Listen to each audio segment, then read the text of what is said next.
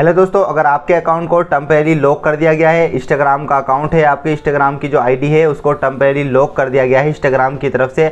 आपने यहाँ पर किसी थर्ड पार्टी एप्लीकेशन का यूज़ किया था, जिस वजह से आपके अकाउंट को अब यहाँ पर टम्परेरी लॉक कर दिया गया है।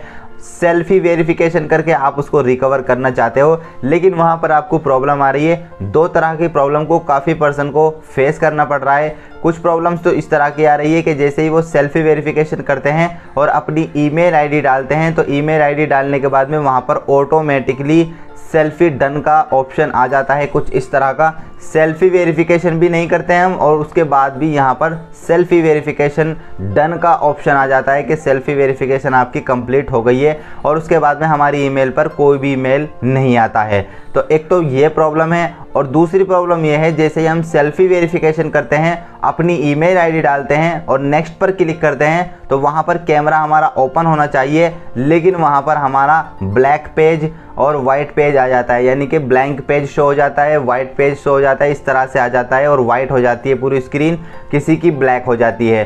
तो इस तरह की भी प्रॉब्लम है। ये दोनों प्रॉब्लम आ रही है। कुछ लोगों को जो ना, यहाँ पर वाइट और ब्लैक स्क्रीन शो हो जाती है ईमेल आई डालने के बाद में और कुछ लोगों को यहाँ पर ऑटोमेटिकली डन का ऑप्शन हो जाता है कुछ इस तरह का। तो गाइस काफ़ी पर्सन की ये दो प्रॉब्लम है सेल्फी वेरिफिकेशन करते टाइम उनको फेस करना पड़ रहा है। तो दोनों का तरीका मैं बताऊँगा कि किस तरह से इन दोनों प्रॉब्लम को आपको सॉल्व करना है। वीडियो को स्किप करके नहीं देखना है आपको वीडियो को एंड तक देखना है। तो गाइज़ अगर आपको डन वाली प्रॉब्लम आ रही है कि ऑटोमेटिकली डन हो गया और ऐसा इंटरफेस आपके सामने यहाँ पर आ गया तो इस कंडीशन में आप क्या करेंगे? पूरे अड़तालीस घंटे वेट करेंगे उसके बाद में प्रोसेस को फॉलो करेंगे और उसके बाद में आपको ये वाली प्रॉब्लम शो नहीं होगी। जब आप 48 घंटे पूरे वेट कर लेंगे, उसके बाद में अपनी सेल्फी वेरिफिकेशन को फिर से करेंगे तो आपको ये वाली प्रॉब्लम नहीं आएगी। कैमरे का ऑप्शन आपका खुल जाएगा और उसके बाद में आप जो है यहाँ पर अपनी सेल्फी वेरिफिकेशन को करेंगे। और जिस एप्लीकेशन के अंदर आप सेल्फी वेरिफिकेशन कर रहे हैं, उस एप्लीकेशन को अपडेट करके तब सेल्फी वेरिफिकेशन करना और फ़ोन को एक बार ऑन ऑफ़ कर लेना।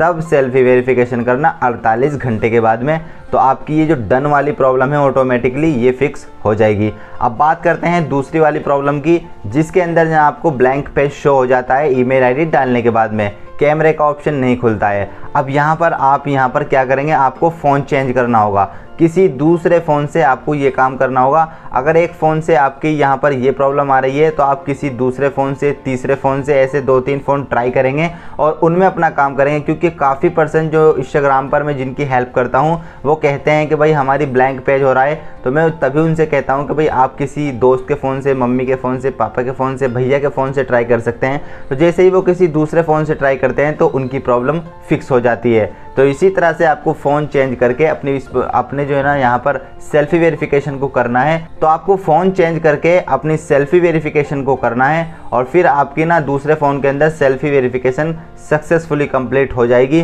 ब्लैंक पेज वाली प्रॉब्लम आपको यहाँ पर फिर नहीं आएगी। तो इस तरह से आप इन प्रोसेस को फॉलो करके अपनी आईडी को रिकवर कर सकते हो सेल्फी वेरिफिकेशन करके। आई होप कि आपको ये वीडियो अच्छी लगेगी आपको पसंद आई तो इसको लाइक करें शेयर करें। मेरे चैनल को सब्सक्राइब करना ना भूलें। तो मिलते हैं आपसे अगली वीडियो में।